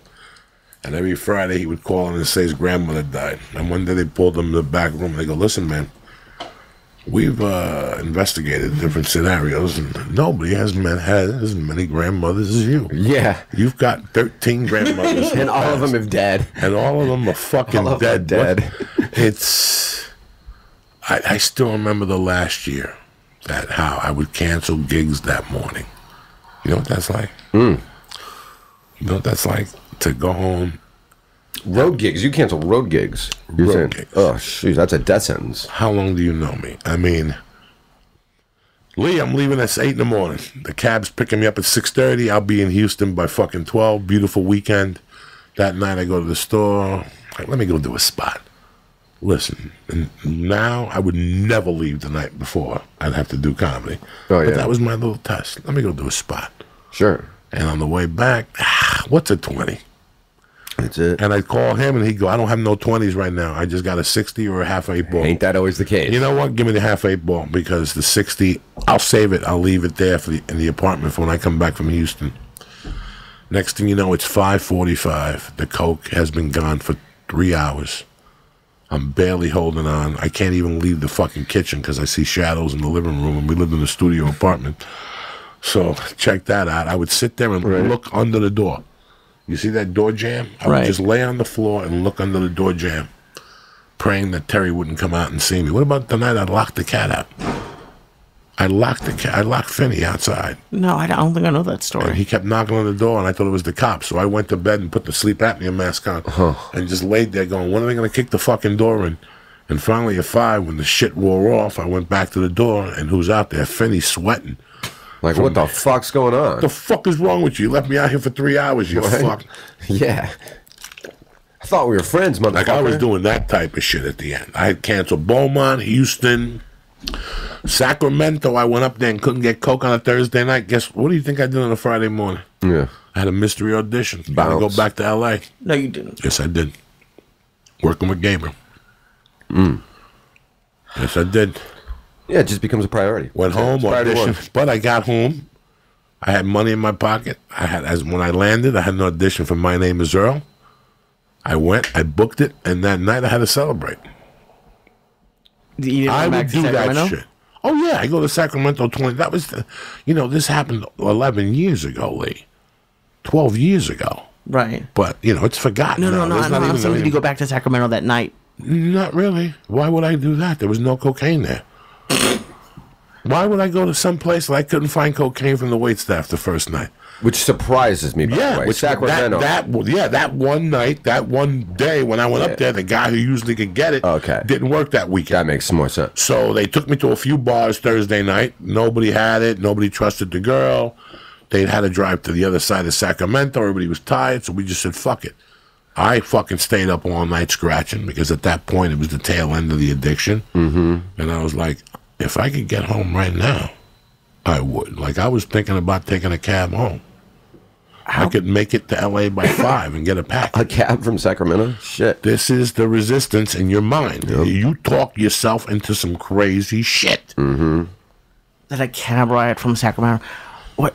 How come you didn't really? I mean, you did a couple things past cocaine, but you re, you never really stuck onto them. It seems like a lot of people go and they always are moving forward. It's in their addiction. How come you didn't do that? The needle stopped me, but I did end up doing the heroin that summer. That last summer, I was snorting heroin. The needles didn't allow me to, but if the heroin really grabbed me, Probably would have killed you. the, the heroin was it. Guys, June of 2007. Oh, that I was the last doing summer? Heroin. Yeah, I was doing Oh, heroin. I didn't know that was the last summer. Okay. I was very quiet. I wasn't going to the store no more. The addiction had not, you know, told me, don't go down there no more. Mm-hmm. Because it's bad down there. Mm-hmm. You're bad because you go down there. Mm-hmm. Really, I'm bad without the fucking store. Yeah, yeah. People are just like, man, you got to quit, can't hang. I'm like, dude, I'll drink at a fucking Ralph's I'll drink at parking a lot. You- fucking- yeah. Ain't nothing gonna stop me. Tell me where I can and can't go. I mean, it's just like you know, um, uh, Harold was saying when we were talking to him. He's like, you know, uh, Turkey kicked out of Turkey, Istanbul kicked out, uh, you know, Iran kicked out of Iran, Boston kicked out of Boston, Denver kicked out of. It doesn't matter. It doesn't matter. You know, it's an inside job, and, and as long as you're not handling the inside job part of it, you know what I mean? It, it, it doesn't matter. And I know, doesn't matter where I'm at. I know that some of you people, you know, I'm not completely sober. When I say I'm not completely sober, I like to smoke my marijuana. But you, I have 12 pack of uh, Heineken in there. I avoid alcohol because that was one of my early triggers. Mm. You know, there was a time when I'd go out and I'd be fine until I drank four beers. And then it's or Coke. four fucking uh, Southern Comfort orange juice. No, no, no. And if I didn't have Coke, I'd do a burglary. Mm-hmm. I'd walk around and go that coffee shop across from North Hollywood Park. Mm-hmm. I could kick that fucking door down and pick up the register and run out before the alarm even goes off at the fucking cop store. Sure. And I'll tell you what, I'm a petty thief. There's sixty dollars in there in that register in quarters and dollars and fives. It's worth kicking in a two hundred dollar window. Yeah, and maybe twenty dollars in change in the back. That's eighty, Jack. That's a sixty, a six pack, and two packs of cigarettes in my world. Right. Did you ever have that? I know you've been to pawn shops and you sold things that you stole, but did you ever have the thing where you were selling your own possessions, like Chris did? Or? I sold everything, Chris, Lee, whatever your name is. I sold every piece of gold I had ever. I would buy gold just to sell it. What is this noise? Sounds like it's a truck. Fucking people got to be backing up now and shit. Eleven o'clock at night, cocksuckers. I got engines running out there. No, we got to leave the door open tonight because it's kind of warm in L.A. It's kind of nice. This breeze. Beautiful week. Beautiful It's a week. beautiful fucking breeze and shit. But no, I if you're listening to the show tonight and you know you're struggling a little bit, I mean we all know. We don't try to address it, but we all know. I fucking knew all those years I had a problem. You A know, hundred t- billion you all fucking know. A Uh, hundred billion percent. so listen, man, try to take care of it. That's it. It's that easy, and it's not that easy. It's that easy, and it's not that easy. But taking the first step the first time, even if you fail, you're halfway there. And people always like, how do I know if I'm an alcoholic? How do I know if I'm an addict? You know. Well, if you if you blew ISIS last week at the club and you don't remember, you're a fucking alcoholic, okay? Right. If you sucked ISIS's dick at the club last week and you woke up and you thought you had hummus the night before, you're an alcoholic. That's how the fuck you know you're an alcoholic. When you black out or when you hear these type of stories that, you know, you sell your possessions or, you know, you don't go home to your kids. I got a second chance with Mercy. Hmm. I got a second chance with my wife. And I don't ever want that shit around me ever again. Like ever again. Mm-hmm. I know what'll fuck me up. And I, at this age, I know exactly what'll fuck me up and what won't. You want to take two Valiums and have a amaretto and milk? I'm all in, Jack. I'll sleep like a fucking baby. If you think I'm gonna go ser- searching for Oxycontin now, you're crazy. I love Uncle Larry's fun pills. I love taking two or three of those when I'm in Vegas, but that's it. Right, and and and to me, just as someone who hasn't luckily dealt personally with addiction, it, like it's it almost sounds a little bit like when you say two Valiums and a Southern Comfort. If if you were doing that every night, I'd be worried about you. But you do that like once every six months. It's like No, but I won't even drink the something. No, I won't even drink. Right, no, one. yeah. I am so scared. I'll take a fucking Valium if you got one, okay. especially if I'm flying or something. Oh, like that. Valium on a Fuck flight yeah. is the best. I won't drink with it if I'm on the plane anymore. Those days are long gone. I'm just too scared. Mm-hmm. We lost a great comic years ago, Freddie Soto. He loved his Valiums. And it was death by misadventure. It was ruled by alcoholism, and it wasn't bad alcoholism, is that he was eating Valiums, drinking alcohol, and he had sleep apnea. That's why you really got to be careful with sleeping pills and sleep apnea. So even if I have them at the house, like sometimes I go to bed at eleven, but I'm walking around at four thirty. That's gonna ruin my day. I'm wide awake like Pepe Le Pew. I'm ready to. Yeah, yeah. But the problem is, at two o'clock, I'm gonna be wiped out, and I'm gonna have a meeting where I gotta. I want to write comedy. I want to do something. Those pills the doctor gave me for Zan, uh, anxiety, I'll pop a half of one of those and fucking go right to bed. And you give me ten minutes, and I'm nappy noodle time, Jack. and next thing you know, the baby's waking me up. Daddy, wake up. It's Wednesday. Daddy, wake up. But I don't, if I let my body sleep like it does, but I know I can't take a lot of Valiums. You know, at 20, if I had the sleep apnea I had now, I'd be dead. Yeah. I'd be dead because I hadn't, I didn't give a fuck. I go out at night, get drunk, and eat 20 sleeping pills. And you know, that's the other thing too. It's like when you're younger, you're much more indestructible and you just don't really care. You're like, yeah, whatever. It's just I'm just being 25. You know, man, you're much more indestructible. But look at all the fucking kids that are dying right now from this heroin. And I have a friend that And meth. Meth is such an epidemic, Epidemic. problem. I had in a- Is it this really? country. I didn't know that. It's an epidemic. I had a friend who called me a month before Prince died. You know what he said to me? Prince is next. And I said, What makes you say that? He goes, Because they landed the plane and they told you everything was all right. He goes, This goes back to Nirvana. When he OD'd hmm. in England and he came back and they were eating ice cream on TV, mm-hmm. he goes, I could see it in his eyes. He was gone already. It's really weird. God sends you a little warning one time. And it's the people that OD are the people that get locked up or go to rehab. Well, before you go to a rehab, it's like me right now.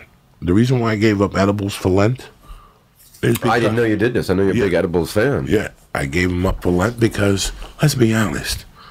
Why should me and Lee eat 2,000 milligrams of fucking THC? I talk to normal Americans that eat 30 milligrams and they, they see devils and unicorns and they'll never do it again. Me and this poor kid are in here eating fucking 500 milligrams. I told the chick at Per- uh, Perennial today. I go, I could eat two of those transmission fluids. She goes, Joey, a guy came in here a month ago, said he ate a cube and he vomited for 12 hours. How the fuck are you eating two of those things? So, you know what? We joke around and everything's ha ha he he, but something's not right. And that's why I went back to acupuncture. That's why I started cleaning out my fucking adrenals again and my fucking uh, my gallbladder because I felt that I had a little pain. If you want me to lie to you, I can't lie to you. I had a little back pain, but there was a couple nights something felt weird in there, and I'd pee and it'd be yellow.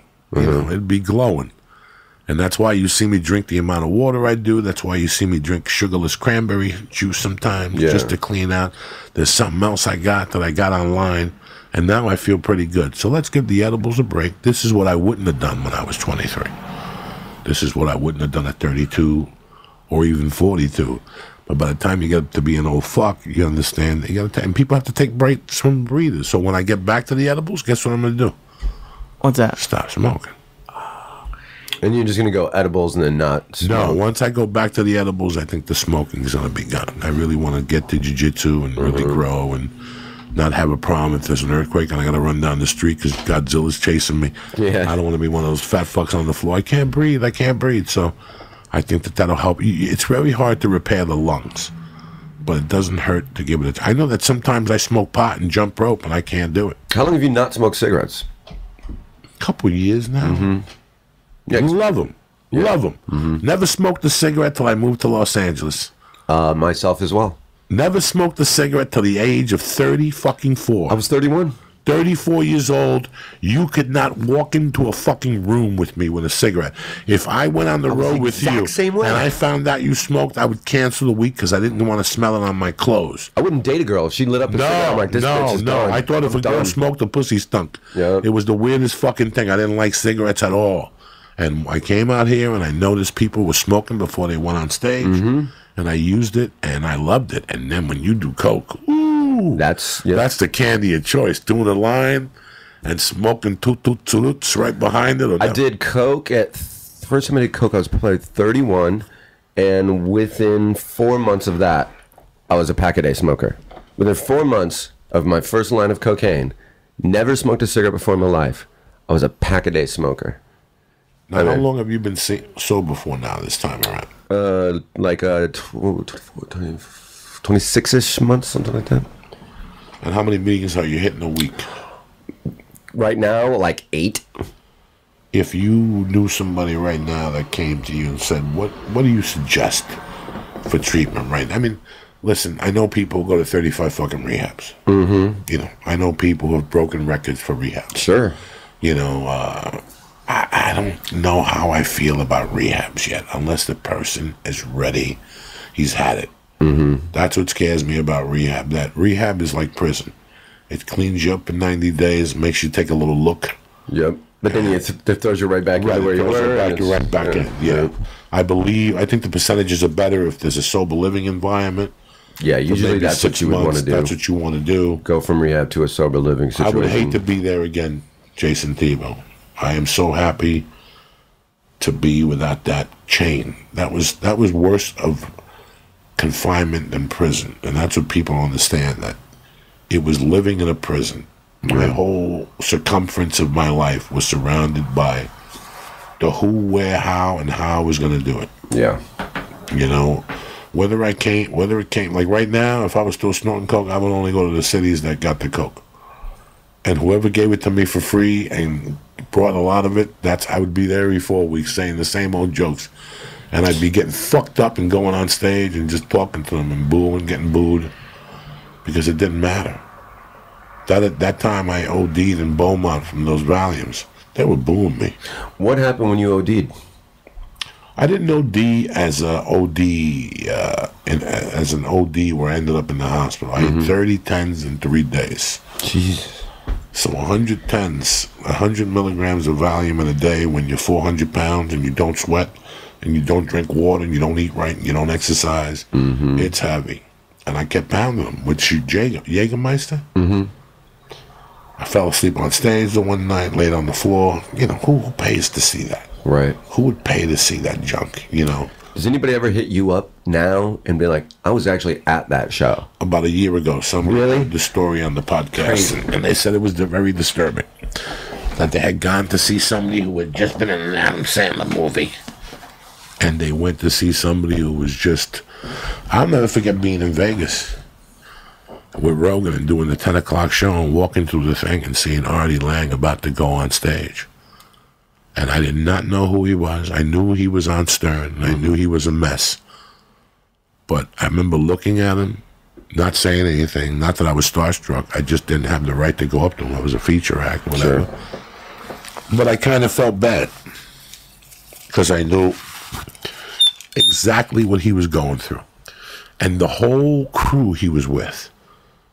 It's not like when I used to go on the road with Chris McGuire, Rogan, and it, you know those guys don't get high, mm-hmm. so you really couldn't catch it. It really wasn't as disgusting and despicable as what I had saw that night. And I, and I love Artie Lange. I love what he's doing on Crashing right now. Yep, me too. it was him, the Reverend Levy. Yep. Just a, and you could tell. I don't know if Levy did blow. I think Levy's in the program, but fucking, he was a mess. So I actually went to the door, and the guy goes, "You worked with Rogan tonight. Go in if you want." And I walked in. Rogan went to shoot pool or something, and I sat up there the one night and watched Artie Lange, and I felt really bad for me For you. because that that's what I was going to become. Hmm. He was on stage, high as fuck, talking just nonsense. It was not worth the fifty-five dollars. I would have demanded my money back. But those people in the audience were just as fucked up, and it had become. Uh, I don't want to go to rehab. I said no, no. What was her name? Uh, Amy Winehouse. Right, yeah. Yeah. It had become one of those situations. She was selling out shows just for people to go see how fucked up she could get on I stage. mean, that's Charlie Sheen had that too. Remember when Charlie Sheen was like, "I'm gonna go on a world tour and let everybody look at what a dumb fuck I am." Yeah, but he did it two fucking times. I'm talking about uh Lange was you know, and I've seen people do it. I mean, look what happened. Towards the end, people were paying to see Rehab Chick just to see the debacle. Mm-hmm. And it was the same thing with Artie Lange. And you know who else was doing that way before Artie Lange? If you read his book and you hear the stories, Mr. Sam Kinison. When he before he went Deep Hill, if you paid for one of those tickets, you caught his openers, and even his openers were on fire. But he would come out, and it was a 50 50. He might talk, he might do great, or he might just go up there and take questions. And he did get booed. One New Year's in Vegas, something, he did get booed. I got that book at the house. My brother uh, Sam. Sam. Yeah. It's a good book. That It's a very good fucking book. And somebody gave it to me. I had read it in Seattle. And somebody gave, and I remember being at the store and going, listen, man, not that I'm Sam Kinison, but I'm going to end up the same fucking way as those guys, you know? is nothing. I had no other direction to go. Let- Let's let's be honest. I was one of those guys that went to the store thirty percent to do a set that he didn't care about, mm-hmm. and eighty percent was because the connection was there. And I Sure. could front. I could get three for two. I could get four for two. You know, I could do a thousand things there. So, how fucking sad is that? That my first ten years here were coke, cork, coke laden. And I still worked and booked movies and did movies. Can you imagine You're if I was- fortunate. if I was sober, the things I could have done in television and film, you know, that longest yard, I stayed sober on that for six weeks. Yeah. And not even, I'm lying. I stayed sober for two weeks in the beginning, and I went off the deep end. Then I found where I could get it in Santa Fe, and that was the end of that. And I'll never forget flying up here with that per diem money in my pocket, burning a hole in my pocket, 'cause Right. my wife wouldn't know about it. Right, right, right, right. You know, that was cash they give you. I'll never forget getting off that plane and going straight to that fucking dealer's house and telling them, cut me three and a half of nothing but fucking rock. I'm going home to blast off. Fuck football. I mean, it was just crazy. Yeah. Crazy. I was snorting till four. I would get in my car and drive to Redondo Beach to shoot the longest yard. What does it take to recover from four or five days of just going balls to the wall? Three days of fucking sleeping. Yeah. You're done for a while. Party's over, Rover. You know, if you got a four or five day bender like that, I mean, I remember I had a two, maybe two or three day bender. You know, about maybe ten years ago. I remember the girl I was living with, but you know, booze blow, booze blow, booze blow, booze blow, and then went to sleep on Sunday night and woke up about five. No. I could when I did the thirty day, the thirty things. I, I started on Thursday, and I finished them Sunday morning, and I basically slept from Sunday to Wednesday. Hmm. Getting up to puke, eat a little soup, and go right back to bed. Joints were hurting, tendons were hurting. You know, there's no, there's no Even vitamins. swallowing, swallowing. Yeah, hurts. there's no vitamins coming into your body. It's a horrible, horrible thing. When I when I was 21, I was pulling those two nighters too. I remember being in Miami one night, up for three nights by myself in a hotel. Three nights, sad. I'm gonna write about it. I'm getting to that chat. Sad. Waiting for a guy to come that gave me a batch of coke, and I had to pay him. And I got down, and thank God I had extra money. I checked myself into a hotel. And I asked some guy for coke, and he ended up giving me like he was like, "Ah, don't worry about it." He just actually went in with a scoop. This is 1984 cocaine, and I Yeah. went back. It was in Miami. I'm like, it was a hotel. 84 Miami. Cocaine. 84 that had to be Miami. that had to be actually no, no, no, no, cocaine. no. You had no fucking idea. And I went into this hotel room, and I basically drank water, all the alcohol in the refrigerator, did not let the maid in, and just went straight for three days. From Friday to Monday, I still remember Monday morning. I still could close my eyes and visualize the sun coming through the curtains, and how bad I felt. I I know when I was doing blow and I had pee in the bathroom, I wouldn't look at myself in the mirror as I was walking out of there. It's not good. It's not good to look into the mouth of fucking Satan and go, Jesus Christ, what am I doing with my life? You don't even want to believe it. And we're very lucky, Jayson Thibault. We're lucky that you've been doing this for 26 months. Has your life really changed? Um, Sometimes. How has it changed? Oh, how has it changed? Um, ah, that's that's a good question. I mean, accountability for one. You know, it's just like you said, you'd fuck off so much. You mean, just the easiest of things. Hey man, come you owe me fifty bucks. Come meet me here. We'll have lunch. I'll give it. Give you some excuse the next day why I didn't show up. I mean, I might even have the money on me and just be like, I just don't have fucking time. You know, uh, you get a lot of free time. You get a lot of. You, know, you said it best when you're like, all the time in my head, all the planning. You know, you free up so much time not having that uh, anchor. It's an anchor. It's an anchor. Is what it is. It's an anchor, and to not have to be like, oh man, how am I gonna get it tonight? How am I getting fucked up tonight? Who's working where? Where can I go and fucking pretend like I'm supposed to be there? You know, that freedom to do whatever the fuck. I uh I could tell you all the good things that have happened since I stopped doing it. Just me getting married, just me being a good husband. I didn't expect to be a fucking father. I thought that that nerve cell was cut, but I guess whoever controls people getting clean gave me that as a fucking reward to look at just Yeah. because there's no way in my earth. And a motivating factor too. I mean, anytime Yeah, you're even kind of like, hey man, I there's gotta. No way, there's no way in my earth that I could ever put anything in my nose again. You know, like I said, I don't even get high on most of the stuff I do because my tolerance is of a fucking mule. But nah, there's not much I want to do. I brush. Listen, we do liquid acid in this podcast. I did like three drops to one night. I was high for like three hours. I remember when you did three drops, you'd be on high for 22 fucking hours. Duncan Trussell and I, I was telling this on the uh, podcast with Tate the other day. We used to sell liquid acid Here in town? here in town. The, the day after I met, I met Duncan Trussell. The next day, we started selling acid together. I knew Duncan for about twelve hours, and he's like, "Oh, I heard you got a connection to get acid, buddy." I go, "I got a guy that can hook it up." He's like, "We should get a bunch liquid acid Visine bottle." Used to keep it in the fucking you know medicine cabinet. One was a Visine bottle. One the other one was also a Visine bottle that just said not Visine on it, so no one fucking accidentally do that fucking. Uh, and we used to dose people up. It was just one one hit, two hits. You're fucking high for eight hours. Duncan and I built up such a tolerance uh, that we would just go drop in each eye, bong, bank. Not even go to just Yeah, circumvent the whole digestive system. I- I- if you're selling acid, Oh yeah, you're eating acid. every everybody does acid, acid. once a once a once a month. You're doing it every single other day with people because you're I was guy. telling Lee I did acid for three weeks in a row to the point where the next day I couldn't. I would be stuttering, like you could feel it. Like the next day, I remember doing angel dust. That the next day you could feel it I did hundred hits in one summer in three months. of acid. Mm-hmm. Yeah, that that you could feel. You'll feel that for a while. I feel I'd have to. I mean, uh, maybe it's a, it must be completely different.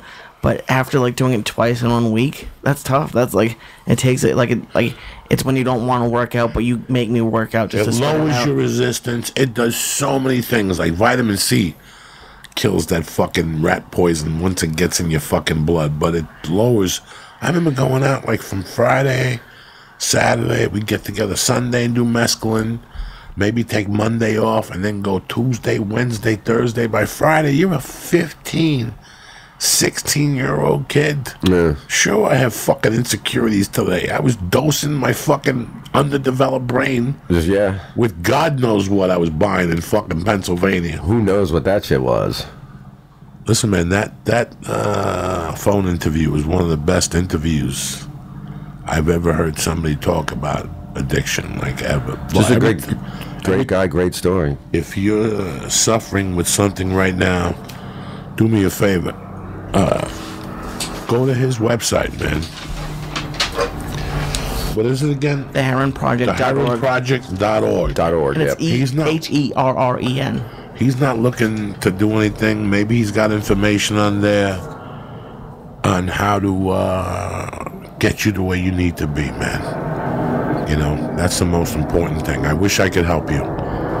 You know, I wish Thibault could help you. You know, we could tell you to go to a meeting. We're going to tell you the same shit that's kept you where you've been for this long time. So I'm no fucking genius, you know. Maybe he's got something that can help you with addiction. Like I said, I was addicted for a long time, but everybody's addiction is different. I got to be honest with you. Everybody do different fucking things for an addiction. So check out the herrenproject.org and maybe he's got some information, especially with opiates if you need help. You know what I'm saying? Right now, you're going, Joey, what the fuck? You smoke dope? What type of hypocrite are you? Listen, man, I'm over here fighting for my fucking life too every day. I smoke marijuana because it's the last thing from my past that holds me together. You know, I got to be honest with you guys. Like I said, there's some mornings I can smoke four bowls of weed and nothing happens. Yeah. You know, my tolerance is so high, but it's right now I've been thinking about it from the other side. And it's the last thing from my past that's still. Mm-hmm. And it's also enjoy. probably the only one that didn't really make your life unmanageable. No, it makes me. I'm, I focus. I write.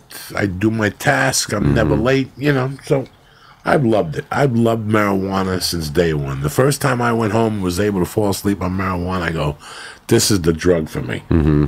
This is the fucking drug for me." Teams, I'm happy you're doing uh, 26 fucking months. Now you taped the special. Uh, I recorded an album. Where at? Uh, I recorded it in Fort Wayne, Indiana, uh, and it'll be coming out in about three weeks. Editing it right now. We were talking about that at the store the other day. How hard it is to edit yourself, because everything, you know, you're like, eh, that's good that way. Yeah, that's good that way too. It's like, so I got, I got a guy that's, you know, I can just kind of walk away and he'll send me clips and cuts and and then I don't have to because you'll go nuts. You, we were talking about this before. You, you'll go And- and crazy. never mind listening. Looking at myself, Mm-hmm. that that's, that's the Adams family. All you know, no, no. I don't want to see myself. I don't want to hear my fucking voice. That's one of the hardest things ever to do. I, I love taping myself, but I'll never make the whole tape in one sitting. I got to sit there three fucking times because I got to get up because I hate my voice. When does the album come out on iTunes, my uh, comes out at the end of March. This will be end in like three weeks, something like. Three Let me weeks. know Yep. so we could post it and announce it on the show. I mean, yeah, return to the return to the red state. It's called. Uh, People really like you when you come on the show. And like I said, you know, we fuck around a lot here, but in my heart, man, if you have a problem, I really wish you just go to smoke and reefer. If anything, if you still need something like me because you're insecure, you don't think. For years, I wouldn't quit coke because I thought I wouldn't be able to create create stand up comedy.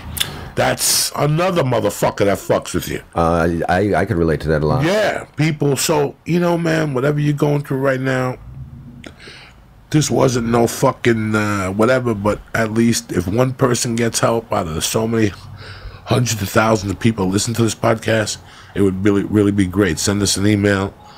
Send Chris Herren an email. Send fucking uh, my man over here, whatever his fucking name is, Jayson Thibault, an Yep. email. Yeah, I've said that before in this show, and I and I you know I always extend that out when I come and do this show because we always usually talk about this. But anybody, hit me up on Twitter at the Teeb, uh, DM me on Facebook or anything. If anybody needs to uh, talk about any of that, hit me got up. People always have. People always every time I do the show, I always get help by people. Some of them I'm still talking to from the last time uh, I did this show. Still talking to them all the time. So if anybody needs needs to talk, man, that's I'm here for you. You You know. doing any dates? Uh, I don't have much coming up. I'm, I'm going to be in Chicago um, in about three months. Um, you can always see me at the Comedy Store, Ice House, Laugh Factory. You got uh, spots around Palo- town, bro. I'm watching that, so Yeah. I can tell you made a big leap with your life. You, I never would have recorded an album. Fucked up. You know what I mean? Yeah, it just yeah, would have yeah, been on the to-do list. That just keeps getting bigger and bigger. It's all those little well, things. you are fucking seeing the rainbow. You fuck. Yeah. Things are happening. Yeah. Things are happening. that- That's what it does. So last night, about three, four days ago, I got a package from MeUndies, and I open it up. But when I flip it over, they had sent Five thousand dollars worth of pills. No, you they got, sent. You got uh, Chris's Can you pills. imagine that shit? they sent. Uh, they sent uh, his and hers, but when I flipped it over, it was the her side. So I picked it up and I go, "Honey, you like them?" And she goes, "Yeah, okay." I put the things away. My wife takes hers. I take my MeUndies. I go to jujitsu. I come back. I got the MeUndies on. I shoot to the shower. Right before I go into the shower, I, I shave on this side right here, just so I can shave the rest in the shower. And her door opens. Uh, there's a bathroom that connects through a door that I use and she uses. Okay. sometimes. She has her own bathroom, but to break my fucking balls, she'll go in that bathroom. Okay. She took a shit in there the other day. I thought fucking. Uh, I thought a fucking elephant died in there. I thought somebody broke in and shit in my house. I go, what happened? My wife goes, that's your daughter. That's her asshole. That, that, that, that you know, it runs in the family. So I come, I'm shaving. She busts in the door. She goes, Daddy. And she looks at me and she goes, Daddy, why do you have panties on? And I go, I got no panties on. These are my MeUndies. You know, my mommy's got the same ones. She went into a rip roll. No, daddy, you can't wear panties. Men don't wear panties. You know, uh-huh. and she's just a little fucking girl. She started pulling at him, dog. Mm-hmm. Like, Dad, you gotta take those panties. I said, Would you stop? I had to stretch them out for her and show them that they were the boxes. I'm such a fat buck that they all wrinkle up and shit.